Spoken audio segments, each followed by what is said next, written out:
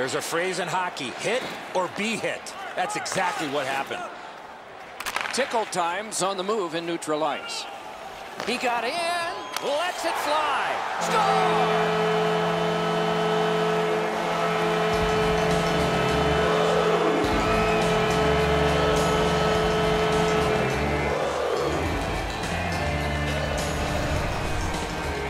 That's a confident goal scorer there when you fake to the forehand and put it in. Eddie, the goalie can only do so much. He's got too much time to make this wonderful deke, and the shot goes up over top of him. Boys has gotten the first goal.